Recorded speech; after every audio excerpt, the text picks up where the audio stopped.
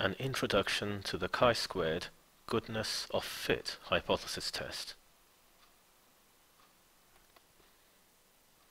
We start with a random sample and we're testing to see whether the data follows some given probability distribution, which could be one of these. So we may be testing for the discrete distributions, binomial, Poisson, or just some probability table. So does our random sample fit one of these? Or for continuous data, does our random sample fit a normal distribution or rectangular or an exponential distribution? And we can test both the distribution and its parameters. So for H naught here, we're testing both the probability distribution and its assumed parameters. And for H naught here, we're only testing the probability distribution because we've already calculated these values from the given data, so we're not testing those. And the implications of this will be on the number of degrees of freedom. So our data goes into a table where we have our observed values, the O values, and these must be frequencies, and then using the probability distribution, we calculate the E values. Again, these are frequencies, which must be at least 5. And then we calculate our test statistic, x squared. This formula is on page 14 in the AQA formula book. And here's the formula. And we've used this formula in Unit S3 with contingency tables and we're going to use the chi-squared probability tables for our critical value. So we always work with the right-hand tail of the chi-square distribution. This is always a one-tailed test. So we're either going to accept H0 or we're going to reject H0. The only complicated part of the whole test is how many degrees of freedom should be used. And I'll come back to this.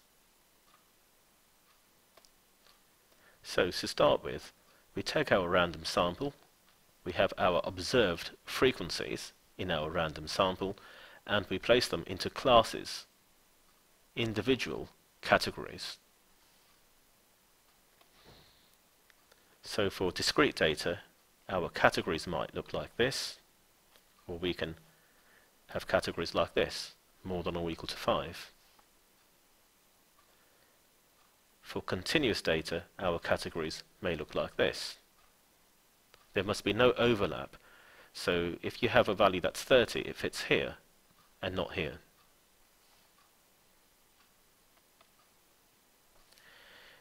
The calculated e-values must be at least 5, and we can see there's a problem with this e-value here. It's less than 5. So we need to combine that with uh, something sensible, and the one next to it is 6.2. If we add these two together, we have a new class here, which is more than or equal to 7. The number of classes here at the moment is 1, 2, 3, 4, 5.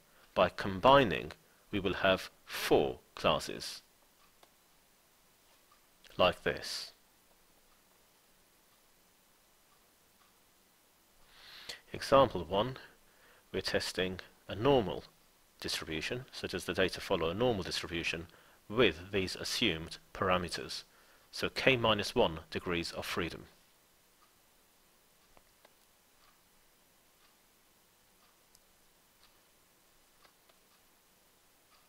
So 4 degrees of freedom. So if we were working with a 5% significance level, 5% in the critical region, 95% in the acceptance region. P is 0.95, 4 degrees of freedom. This is our critical value that goes here. If from the given data we have calculated the mean and the variance, so we're no longer assuming these two values as we did in the previous example, so in H0 the data follows a normal distribution there is no mention of the mean and the variance here because we've calculated them in our working out. So now we use k minus 3 degrees of freedom. it was k minus 1, now it's k minus 3 because we have these two additional bits of information that we've calculated. Example 3, does the data follow a rectangular distribution? There are no population parameters to work here, so we're not working out n, p, lambda, mean, variance, nothing like this. So this is always k minus 1 degrees of freedom. So we have 5 categories here, so 4 degrees of freedom. Example 4, does the data follow a binomial distribution with this population parameter, p equals 0.7? We have k classes, so k minus 1 degrees of freedom, 6 minus 1, 5 degrees of freedom, and we're testing both the binomial and its assumed parameter. Example 5, again we're working with the binomial distribution but from the given data we've calculated and shown that p, the population parameter, is 0.7. So in H0 we state that the data follows a binomial distribution. We don't mention p equals 0.7 in our hypotheses. We're not testing the value. We're only testing whether the data follows the binomial distribution because we know that p is 0.7 because we've calculated it. So this time it's k minus 2 degrees of freedom. So k is 6, so 4 degrees of freedom.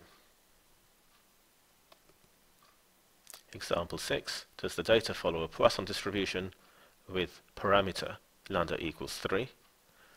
They are k classes, so k minus 1 degrees of freedom. And we're testing both the Poisson distribution and its assumed parameter. So 5 degrees of freedom. Example 7. From the given data, we've calculated the mean lambda.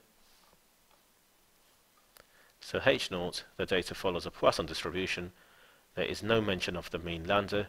We're not testing the mean lambda, we're only testing whether the data follows the Poisson distribution. So k minus 2 degrees of freedom. 4 degrees of freedom. Example 8, we're working with a discrete probability table, and these tables came up in Unit S2. So H0, the data follows the given probability distribution. There are no population parameters to test here, so there's no, you know, like lambda value or a p-value or a mean or a variance and so on. These are always k minus 1 degrees of freedom. So we have six classes, 6 minus 1, 5 degrees of freedom. Example 8, we're testing whether the data follows an exponential distribution with a given mean. And you can either state the mean here or we can say that lambda is equal to 1 over 20. There are k minus 1 degrees of freedom